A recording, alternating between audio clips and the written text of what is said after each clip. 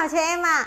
À. hôm nay tôi xin chia sẻ với chị em về cách gập khăn để sao cho chị em chúng ta có một cái khăn chiếc khăn nhỏ gọn nhất chị em nhé Ở đây tôi đã chuẩn bị à, một chiếc khăn như thế này để hướng dẫn chị em đây ạ.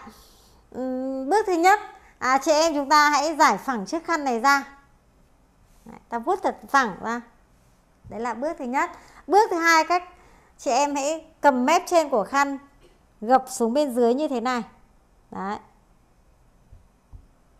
Chuyển sang bước tiếp theo, chị em cầm cái mép còn lại của khăn gập xuống bên dưới như thế này.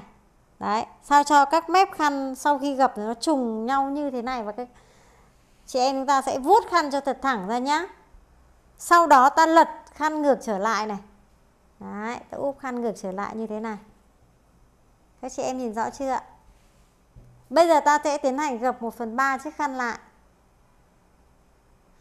Và cuối cùng chị em chúng ta sẽ tiến hành cuốn chiếc khăn này. Khi cuốn, chị em sẽ sử dụng hai tay ta cuốn đều và cuốn thật chặt. Nếu cuốn càng chặt thì càng tốt, bởi vì là nếu mà cuốn chặt thì ta sẽ có được chiếc khăn càng nhỏ gọn chị em nhé. Đấy.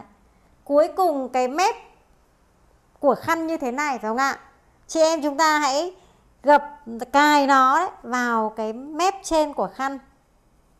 Ta cài vào như thế này. Sau khi cài xong thì chị em chúng ta sẽ chỉnh lại khăn. Đấy, chỉnh lại cái góc cho nó thật vuông vắn phải không ạ? Và đây là kết quả cuối cùng chúng ta đã có một chiếc khăn rất là nhỏ gọn và rất là chặt phải không ạ? Hoàn toàn chị em chúng ta có thể xếp vào tủ đồ nhà khách hàng mà đảm bảo vừa gọn lại gì. Cảm ơn chị em đã lắng nghe chia sẻ của chúng tôi ngày hôm nay. Chị em hãy bấm vào nút đăng ký kênh để tiếp tục nhận được chia sẻ từ phía chúng tôi, chị em nhé.